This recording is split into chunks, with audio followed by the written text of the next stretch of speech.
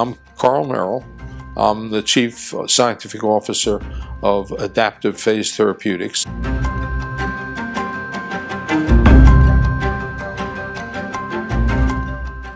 We try to find viruses that kill pathogens, things that causes diseases in humans.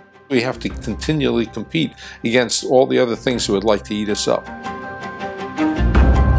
The very first patient was an individual who was dying from a bacteria that was res resistant to all antibiotics. At that point, the U.S. Navy, in their biodefense directorate out in Detrick, had built up a library.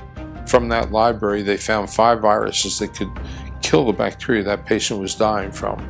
And in that way, they managed to save that patient's life.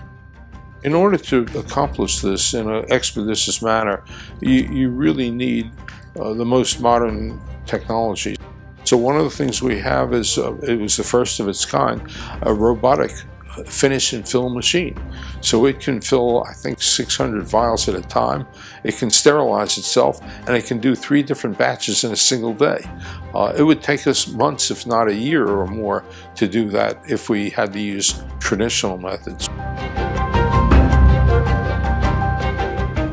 Putting the business in Montgomery County was, in a way, a, a no-brainer because the fact is that all the resources necessary to start this were here. Uh, it's hard to imagine places that are more enriched for developing this kind of technology.